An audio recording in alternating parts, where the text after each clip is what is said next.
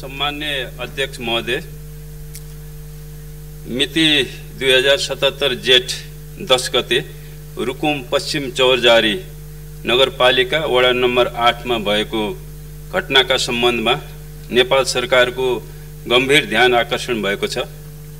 उक्त घटनाप्रति दुःख व्यक्त गर्दै मृतकका परिवारमा संवेदना प्रकट गर्दछु। साथै घटनाका सम्बन्धमा हालसम्मको विवरण यस सम्मानित सदन पेश गर्ने अनुमति चाहन्छु। जिल्ला रुकुम पश्चिम चौरजारी नगरपालिका आठ आउला भन्ने वीरबहादुर मल्लको छोरी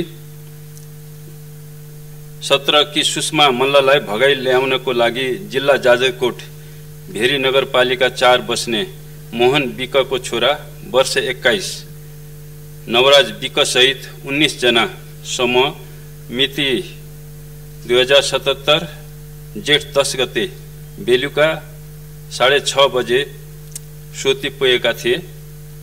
भगाइ लाने क्रममा केटी पक्ष र केटा पक्षको आफन्त बिच झैझगडा हुँदा केटी पक्षले केटा पक्षलाई भेरी नदी अवलतर्फ लखेटेका थिए।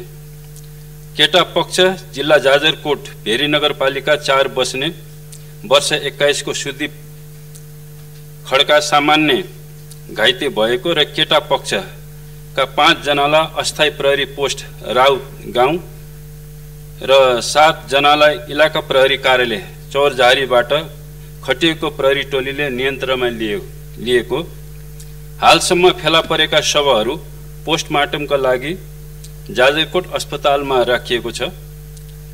मिति सतहत्तर जेठ दस गते राति दस बजे निज नवराज विकको शव जिल्ला जाजरकोट भेरी नगरपालिका चार स्थित भेरी नदीको बीच भागमा फेला परेको। ऐजन एघार गते साढे छ बजे भेरी नगरपालिका बाह्र खोदा खोला स्थित भेरी नदीको बीच बगरमा जिल्ला रुकुम पश्चिम चौरजारी नगरपालिका एक लामिछाने बस्ने वर्ष बिसको टिकाराम सुनारको शव फेला परेको।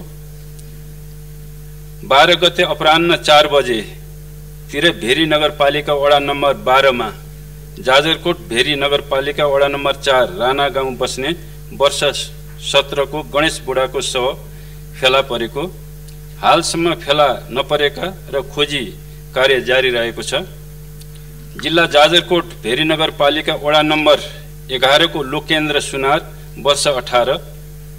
ऐजन एजनको गोविन्द साई वर्ष सत्र। र ऐजन वडा नम्बर चारको सन्जु विक वर्ष सत्र। बेपत्ताहरूको खोजी कार्यका लागि गोताखोर समेत परिचालन गरिनेछ।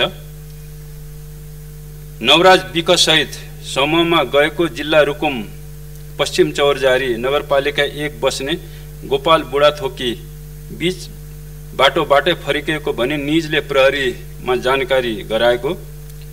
घाइते सुदीप खड्काको मिसन अस्पताल चौरजारीमा उपचार गरी डिस्चार्ज भइसकेको छ। केटा पक्षका सम्पर्कमा आएका सबै बाह्रजनालाई इलाका प्रहरी कार्यालय चौरजारीबाट जिल्ला प्रहरी कार्यालय जाजरकोटमा बुझाइ सामान्य सोधपुछपछि आफन्तको जिम्मा लगाइएको छ। केटी पक्षका ऐजेन आठ बस्ने वर्ष चालिसको वीरबहादुर मल्ल युवतीको बुवा प्रकाशी मल्ल युवतीको आमा सुषमा मल्ल युवती वडा अध्यक्ष डम्बरबहादुर मल्ल प्रत्यक्ष घटना संलग्न भनिएका सन्तोष मल्ल मोहन पुन मगर रमेश मल्लसहित बाह्रजनालाई प्रारम्भिक अनुसन्धान र सोधपुछका लागि प्रहरीले नियन्त्रणमा लिएको छ। सामाजिक सद्भाव जातीय सद्भाव कायम राख्न शान्ति सुरक्षाको स्थितिलाई मजबुत बनाइराख्न जिल्ला प्रशासन कार्यालय जाजरकोट र रुकुम पश्चिम बीच समन्वयात्मक ढङ्गबाट काम भइरहेको छ। यस घटनाको सत्य तथ्य छानबिन गरी रायसहितको प्रतिवेदन पेश गर्नका लागि गृह मन्त्रालयका सहसचिवको संयोगतामा प्रहरी वरिष्ठ उपरीक्षक राष्ट्रिय अनुसन्धान विभागको अधिकृत प्रतिनिधि महान्यायाधिवक्ताको कार्यालयका अधिकृत प्रतिनिधि र गृह मन्त्रालयको उपसचिव रहने गरी पाँच सदस्यीय छानबिन समिति गठन गरिएको छ। अहिले मैले उक्त घटनाबारे यो सम्मानित सदनलाई यति नै म जानकारी दिँदै बिदा हुन्छु। धन्यवाद।